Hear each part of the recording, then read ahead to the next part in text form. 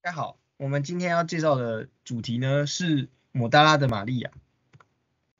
抹大拉的玛利亚在天主教中被称为玛利亚马达勒纳，在圣经新约中被描述为耶稣的女性追随者。罗马天主教、东正教和圣公会都把她作为圣人。关于抹大拉的玛利亚有许多的事迹，举例来说，在新约圣经中有提到。耶稣在各乡传教时，除了十二门徒外，还有他所医治的几个妇女，抹大拉的玛利亚就是其中一位。耶稣治好了他的病，把他身上的魔鬼赶了出来。同时，圣经中也提到，在安息日过后，玛利亚在天还没亮的时候，就到了耶稣的坟墓。呃，他发现坟墓已经空了，只有玛利亚在空坟处哭泣。他所以，他成为了第一个见证耶稣复活的人。那除此之外，在若望福音十二章也提到了所谓伯大尼亚的玛利亚在伯大尼晚宴中的出现。那么接下来我们就要介绍以抹大拉玛利亚作为启发的艺术作品。在介绍作品之前，我们要先介绍一下画家。那今天要介绍的画家呢，叫做 Donatello di Niccolo di Pettobaldi，小名叫做 Donatello。那今天我们就叫他小罗好了。小罗出生在一三八六年，死于一四六六年。那他活了八十岁，在这个年，在那个年代活了八十岁已经算是非常长寿了。他出生在意大利的佛罗伦斯，是一名雕刻家，主要用青铜来作为他的雕刻素材。喜欢写实主义，他对文艺复兴非常的有贡献，所以大家可以叫他文艺复兴的雕塑之父。好，接下来我们要介绍他一些作品，那我们会分早期、中期以及晚期来介绍。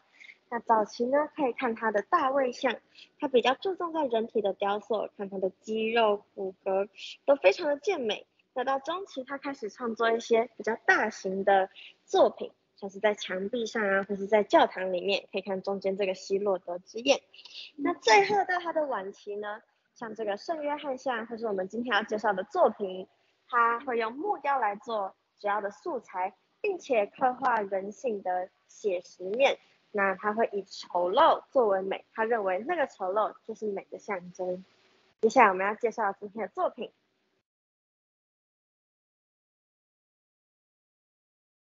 好，我要介绍主要的作品。这个作品是呃作者晚期的时候是雕刻的，那他是在一四五五年出来的，然后他是用木雕的形式去做的，然后他的身高是一百八十八厘米，然后有一个哥德式的风格，然后他的性格是呃瘦长。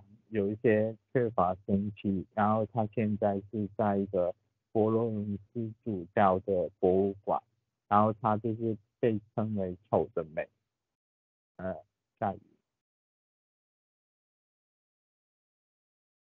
那我讲一下他作品的由来，是因为有在十四世纪的中叶，有一个叫多米尼亚的修道士，他写了一个玛利亚的。传记，那就是描述他就是放弃卖淫之后就是自残，然后描述他就是抓着他的脚到流血，然后撕撕他的头发，还有就是殴打他的脸跟乳房，用用石头。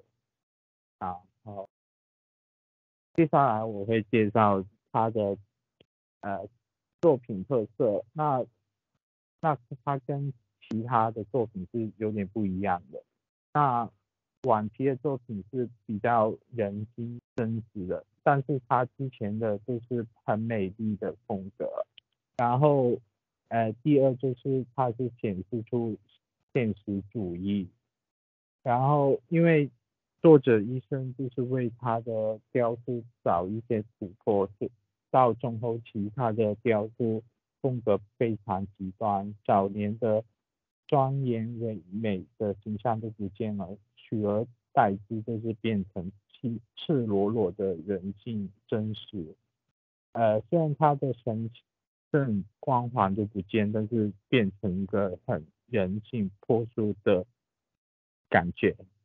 呃，也因为到后期佛罗伦斯的政治空气跟思想完全改变，所以变成他前呃他后期的作品的样子。那么以上就是我们的报告，希望大家会更了解摩大拉的玛利亚是怎么样的人，以及他的事迹。